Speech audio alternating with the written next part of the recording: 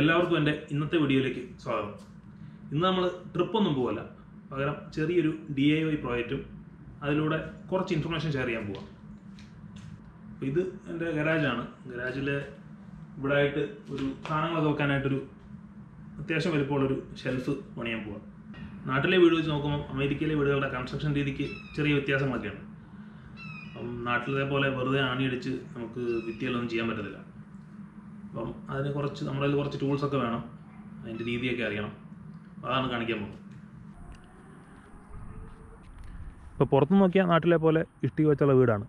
പക്ഷേ മെയിൻ വ്യത്യാസം എന്ന് പറഞ്ഞാൽ അകത്ത് കൂടുതലും തടിയും ഈ ജിപ്സം ബോർഡും ഒക്കെയാണ് ഇപ്പോൾ നാട്ടിലെ വീട് നോക്കിയാൽ ഫുള്ള് ഇഷ്ടികയാണല്ലോ. ഓരോ റൂം തിരിക്കുന്നതും ഓരോ ഭിത്തിയും ഒക്കെ നല്ല കട്ടിയുള്ള ഇഷ്ടിക വെച്ച് ഉറപ്പുള്ള ഭിത്തികളാണ് ഇപ്പോൾ എന്റെ വീടിന്റെ സൈഡിലോട്ട് നോക്കിയാൽ അറിയാം. ഈ കാണുന്നതൊക്കെ ഇഷ്ടികയാണ് ഉറപ്പുള്ള ഇഷ്ടികയാണ് പുറത്ത്. പക്ഷേ ഫ്രണ്ടിൽ മാത്രമേ ഉള്ളൂ ഇത്. ബാക്കിലോട്ട് കുറേയൊക്കെ വുഡ് തന്നെയാണ്. അപ്പം ബേസ് കോൺക്രീറ്റ് ആണ്. മേളിലോട്ട് ഇഷ്ടികയാണെങ്കിലും അകത്തോട്ട് നോക്കിയാൽ ഇത് ഇഷ്ടികയല്ല.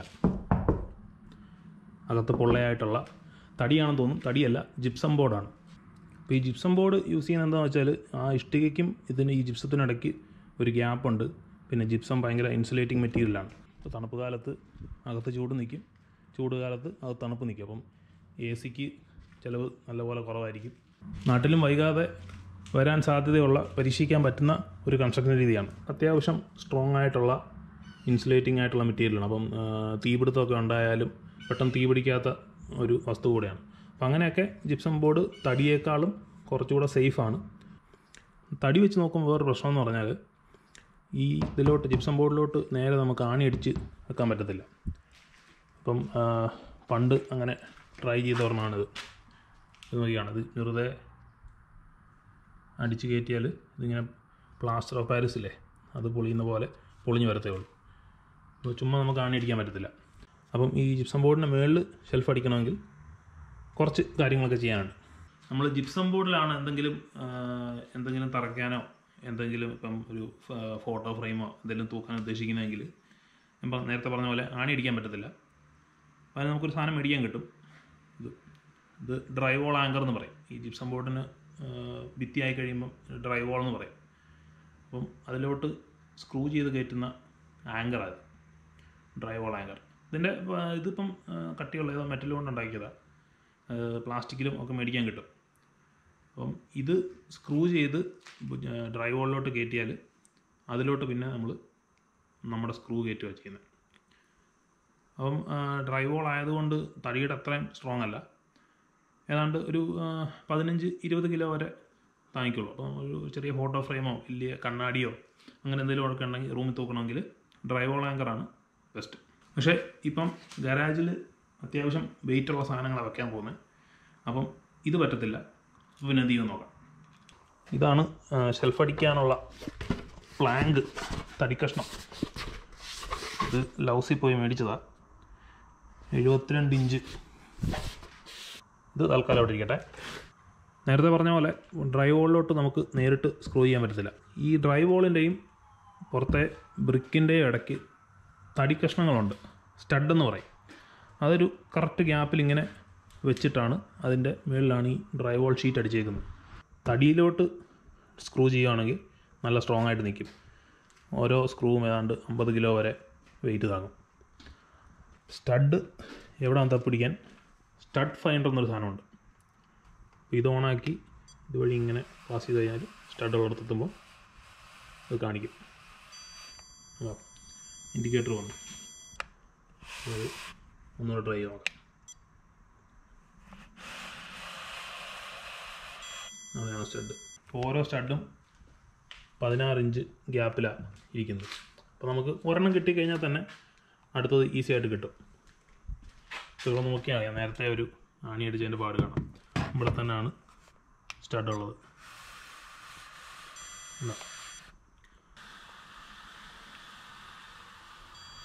അടുത്ത പതിനാറ് ഇഞ്ചിലെത്തുമ്പോൾ അടുത്ത സ്റ്റഡുണ്ട്. അപ്പോൾ ഇതുപോലെ എല്ലാ പതിനാറ് ഇഞ്ചിലും ഇതുപോലെ സ്റ്റഡുണ്ട്. ഇപ്പോൾ നമ്മൾ ഷെൽഫ് ഏതാണ്ട് ഈ ഹൈറ്റിലാണ് പണിയാൻ ഉദ്ദേശിക്കുന്നത്. അപ്പോൾ നമുക്ക് അവിടുത്തെ സ്റ്റഡ് നോക്കാം.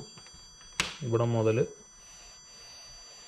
അതിന്റെ ഏകദേശം നമുക്ക് മിഡിലായിട്ട് മാർക്ക് ചെയ്ത് ഇവിടെ ആയിരിക്കും നമ്മുടെ ഫസ്റ്റ് ഷെൽഫ് ബ്രാക്കറ്റ് വരുന്നത്. അപ്പോൾ നമുക്ക് മൂന്ന് ഷെൽഫ് ബ്രാക്കറ്റ് എങ്കിലും വേണ്ടി വരും. എഴുപത്തിരണ്ട് ഇഞ്ചിന്റെ നീളമുള്ള പ്ലാങ്ക് അല്ലേ? അപ്പം നമ്മൾ ഫസ്റ്റ് ഷെൽഫ് ബ്രാക്കറ്റ് എവിടെയാണെന്ന് മാർക്ക് ചെയ്തു. അത് കഴിഞ്ഞ് ഇനി മുപ്പത്തിരണ്ട് ഇഞ്ചിൽ അടുത്ത ഷെൽഫ് ബ്രാക്കറ്റ് വെക്കും. അടുത്ത മുപ്പത്തിരണ്ട് ഇഞ്ചിൽ അടുത്ത ഷെൽഫ് റാക്കറ്റ് വരും അപ്പോൾ ഇതാണ് ഇന്ന് യൂസ് ചെയ്യാൻ വന്ന ഷെൽഫ് റാക്കറ്റ് ഇതും ലൗസിൽ നിന്ന് മേടിച്ചതാണ് ഓരോന്നും രണ്ട് മുന്നൂറ് പൗണ്ട് അതായത് ഒരു നൂറ്റി അമ്പത് കിലോ വരെ താങ്ങുമെന്നാണ് പറയുന്നത്. എന്തായാലും നമുക്കൊരു ഒരു പത്തൊമ്പത് കിലോ വരെ എന്തായാലും ഇത് പോകും. ഷെൽഫ് റാക്കറ്റിനുള്ള നേരത്തെ മാർക്ക് ചെയ്ത പൊസിഷനിൽ ഇങ്ങനെ ആയിരിക്കും പ്ലേസ് ചെയ്യുന്നത്. നമുക്ക് ആദ്യത്തെ സ്ക്രൂ ഒന്ന് അടിക്കാം. അത് കഴിഞ്ഞാൽ പിന്നെ നമുക്ക് ലെവലൊക്കെ നോക്കി ബാക്കിയുള്ള ഷെൽഫ് റാക്കറ്റ് അടിക്കാം. അപ്പോൾ ഈ സ്ക്രൂ ആണ് നമ്മൾ യൂസ് ചെയ്യുന്നത്. ഏതാണ്ട് ഒന്നര ഇഞ്ചിൽ കൂടുതൽ നീളമുണ്ട്. നീളത്തിന്റെ ഇമ്പോർട്ടൻസ് എന്താണെന്ന് വെച്ചാൽ ഡ്രൈവോൾ തന്നെ അര ഇഞ്ചുണ്ട് അര ഇഞ്ച് കഴിഞ്ഞിട്ടേ നമ്മുടെ വുഡിലോട്ട് തടിയിലേക്ക് എത്തുള്ളൂ അപ്പോൾ തടിയിൽ ഒരു ഏകദേശം ഒരു ഇഞ്ചോളം സ്ക്രൂ കയറണം. അപ്പോഴേ സ്ട്രെങ്ത് കിട്ടും. അതുകൊണ്ടാണ് ഒന്നര ഇഞ്ച് സ്ക്രൂ എടുത്തേക്കുന്നത്. തടി എത്തിക്കഴിഞ്ഞാലേ സ്ക്രൂ ഇങ്ങനെ ടൈറ്റ് ചെയ്യാൻ പറ്റത്തുള്ളൂ. ചുറ്റിക്ക് വെച്ച് തന്നെ ആദ്യത്തെ ഒരു ചെറിയ ഇതിടണം തടി എത്തിക്കഴിഞ്ഞാൽ നമുക്ക് പിന്നെ സ്ക്രൂ ചെയ്യാം.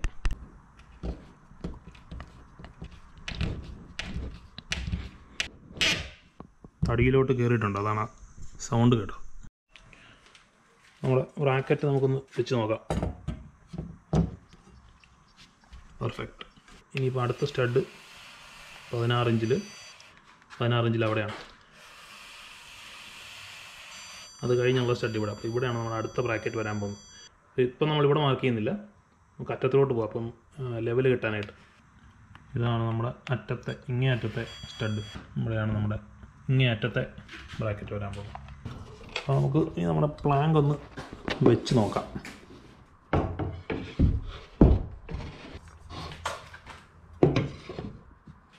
ഇനി ലെവൽ കറക്റ്റാണെന്ന് നോക്കുന്ന സാധനം ഇത്. ഇതൊരു ലെവലറാണ് വലിയ വിലയൊന്നുമില്ല ഇവിടെ മേടിക്കാൻ കിട്ടും. ഇതിന്റെ ഈ ബബിൾ കറക്റ്റായിട്ട് നടക്കുകയാണെങ്കിൽ സ്ട്രെയിറ്റ് ആണ്. ഇതിപ്പോൾ ലെവലല്ല ലെഫ്റ്റ് സൈഡ് താന്നിരിക്കുക. അപ്പോൾ ബബിൾ കറക്റ്റ് ഇപ്പം ഏതാണ്ട് നടക്കുകയാണ്. ലെവലായിട്ടുണ്ട് ഇനി ഈ പൊസിഷൻ ഒന്ന് മാർക്ക് ചെയ്യാം.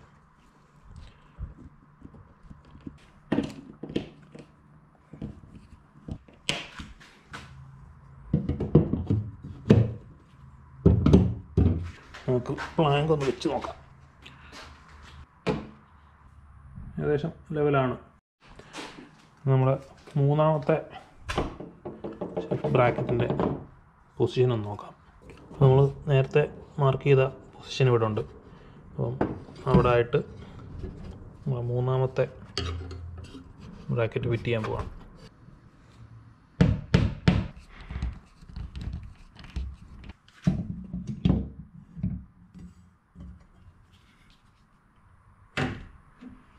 ലെവലാണ് ഇതൊക്കെ ടൈറ്റ് ചെയ്യാം. താഴത്തെ സ്ക്രൂ അടിക്കണം. അത് കഴിഞ്ഞ് ഈ ബ്രാക്കറ്റും വുഡുമായിട്ട് സ്ക്രൂ ചെയ്ത് വെക്കണം.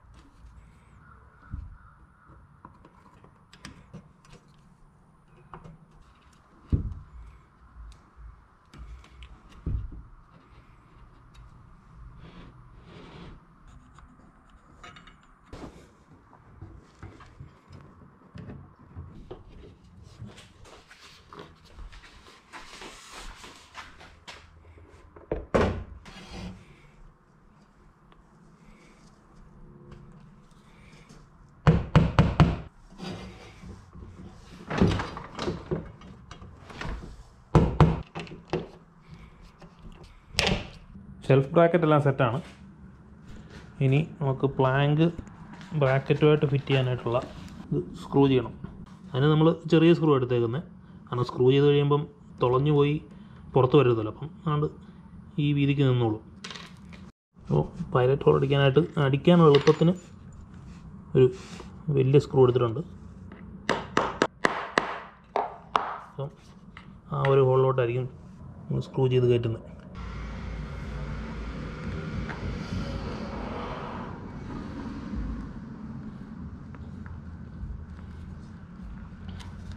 അങ്ങനെ. ടൈറ്റ് ആയിട്ടിരിക്കുന്നുണ്ട് കയറിപ്പോക്കോളും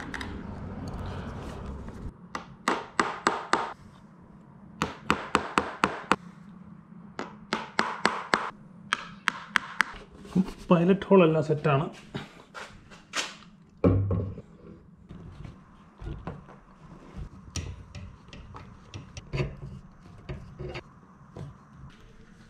സെൽഫിന്റെ പണി കഴിഞ്ഞു. എല്ലാം തീർന്നു കഴിഞ്ഞാൽ ഒന്നുകൂടെ ഒന്ന് ലെവൽ നോക്കിയാൽ കറക്റ്റാണ് സ്ട്രെയിറ്റ് ആണ്. സ്ട്രോങ് ആണ്.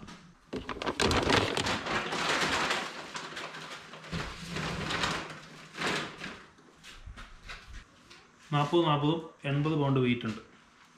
ഒരു ലോഡ് ടെസ്റ്റ് ചെയ്യണമല്ലോ. കുറച്ച് നേരം അവിടെ ഇരിക്കട്ടെ.